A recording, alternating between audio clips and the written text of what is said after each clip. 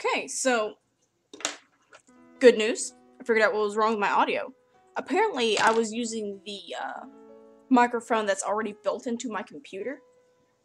Uh, but it's kind of frustrating because I had just recorded two different videos. The audio was absolute garbage. I couldn't figure out what was wrong. And then I noticed, huh, the mic setting doesn't say it was using the webcam.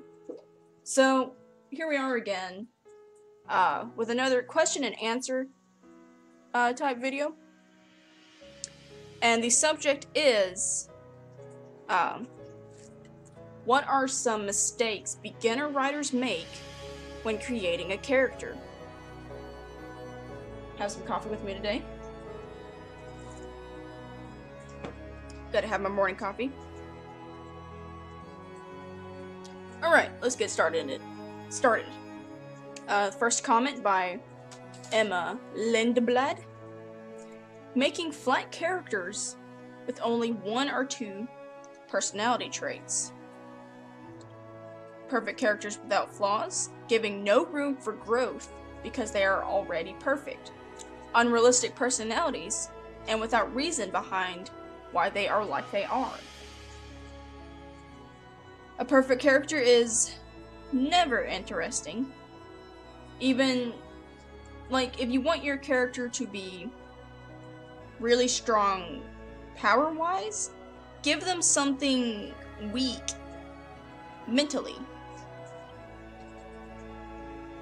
Like, maybe they're very vain about their power and, re- and refuse to accept the fact that they can make mistakes. Or give them, like, a really bad fear. Like maybe they're afraid of crabs and they happen to be having a battle on a beach with a lot of crabs. Automatically, they're at a disadvantage because of their weakness. If a character wins constantly in battles and everything, they're not going to be interesting characters. Uh, and what am I doing on the screen here? Well, I had done a full illustration, well, almost a full sketch uh, for the previous videos that didn't get recorded well because of the audio audio problem. So I'm just doing.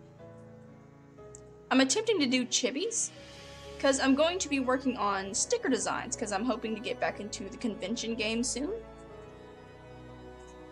So I'm going to be working on sticker designs for my series Legend of the Erased and my side series, uh, which is a hired project, Coexist.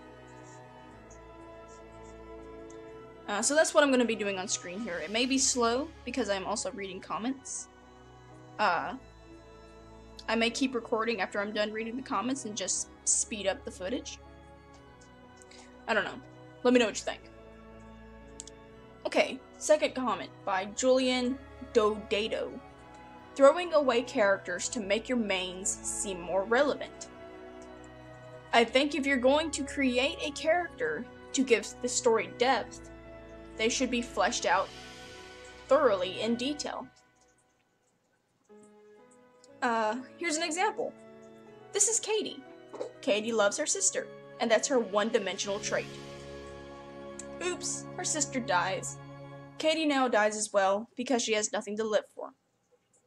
Main character is now sad. Now imagine Inuyasha.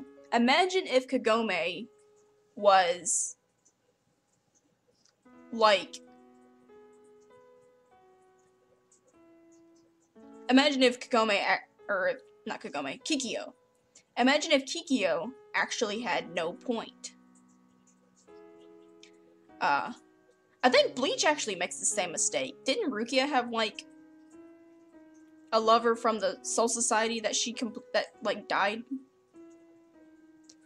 and that had absolutely no point except for the fact that he looked like Ichigo? I don't know. I'm just rambling. Uh, by Kirsty Jones. Don't make your original character perfect. Give them an equal amount of weaknesses to strengths. Sometimes more weaknesses are better. A good protagonist suffers and endures.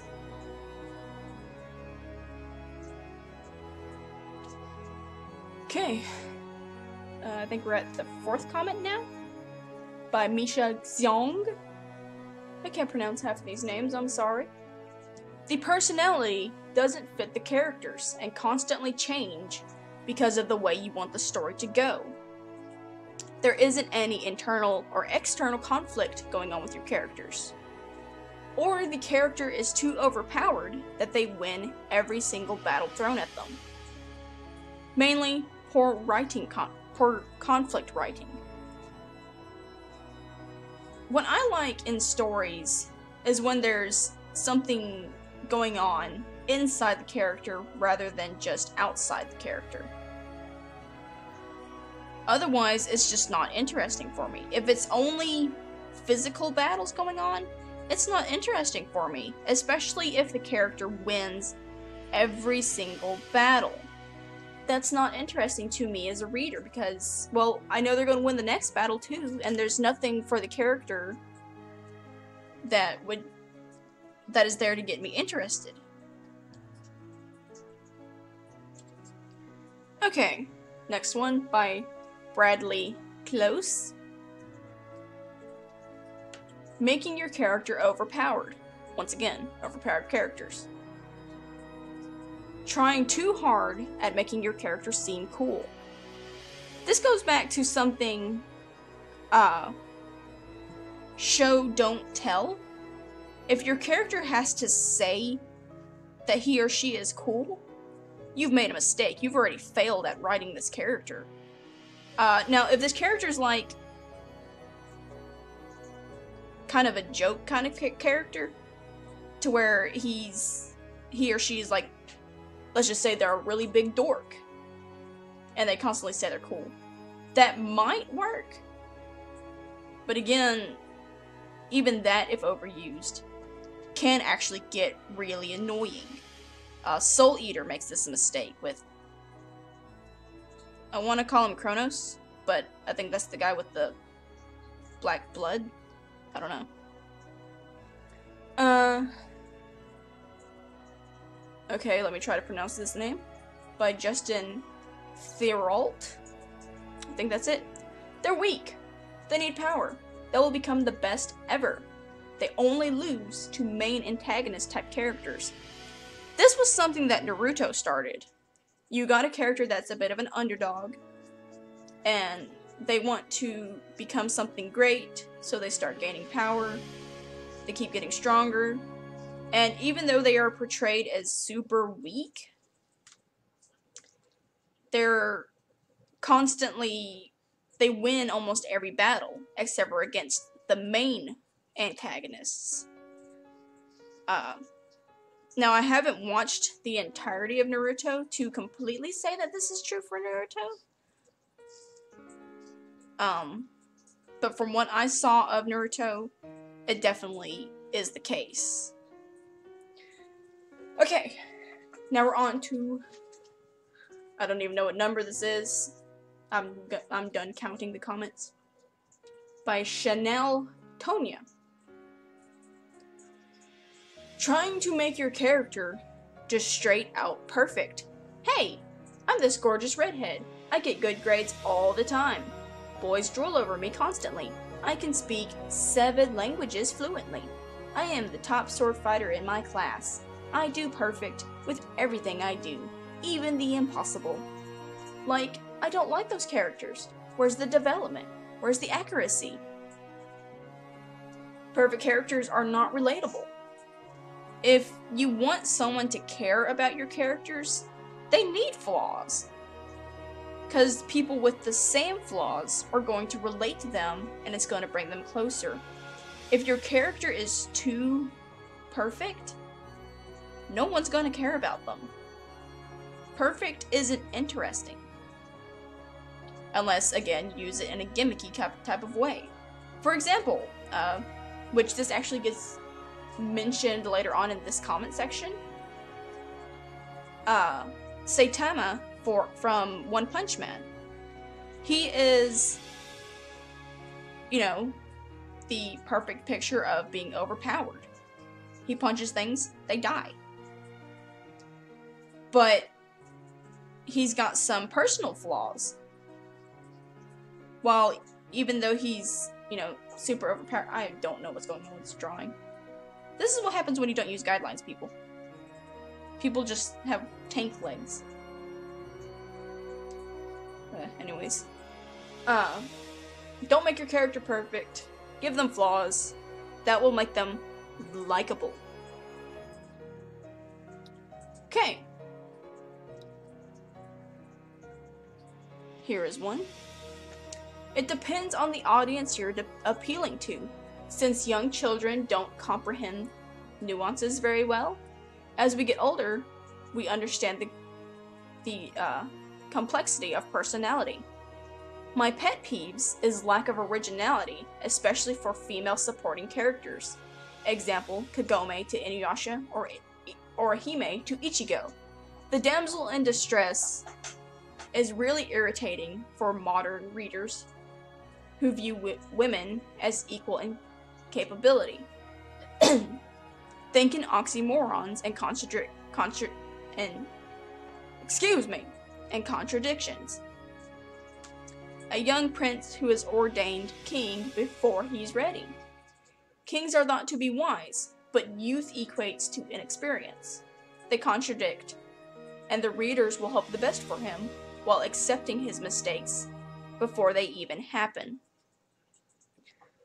Uh, there was a couple of replies to this that I wanted to look at too. Uh, there was one thing in this comment that actually kind of bothered me. that young children don't understand the complexity of personality. That's the thing. We assume they don't, but they do. They may not be able to put it into words like we like adults can, but they understand it. I as a kid understood it. I liked the complex things. And I think we are wrong for assuming that kids just don't understand.